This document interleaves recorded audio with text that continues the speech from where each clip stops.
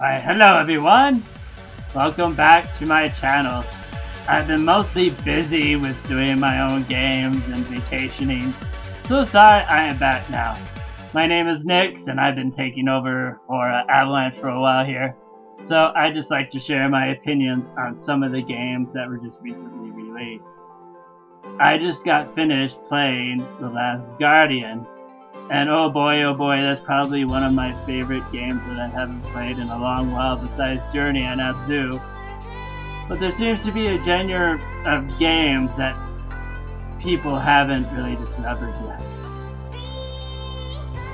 And I think it's important that these games be showed off for what they are, being that they are considered art pieces, especially in their genre, like Abzu and Journey on the PlayStation have both shown that there's a certain type of gaming that's sprouting now, which gets away from all the jumping and uh, doing certain platforming that isn't regular in games and, and pause points in the game that, in my opinion, make it feel more realistic versus having to be actiony all the freaking time in the game and let you explore. And I kind of miss that and I wish the gaming community would understand that there's a difference. Instead of putting them all together and saying, oh, well, this game is crap, it's been worked on for eight years, why isn't it? It's so amazing?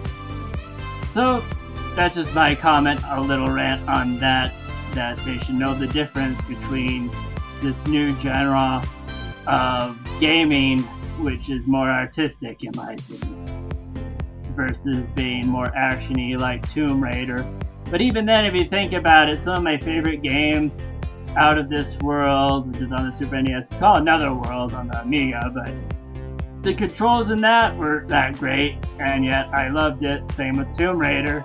So I think they have to look at it for what it is that it's using an old engine that's been graphically updated and the controls were never changed. So, with that, that is just my opinion on that game. Well, please leave a like and comment below if you agree with me.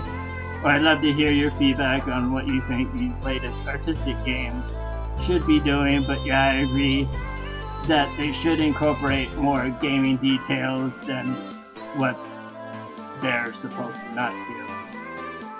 But yes, thanks for watching as always. Please leave a like and subscribe below if you're new. Thanks for watching, and Take care. Rah.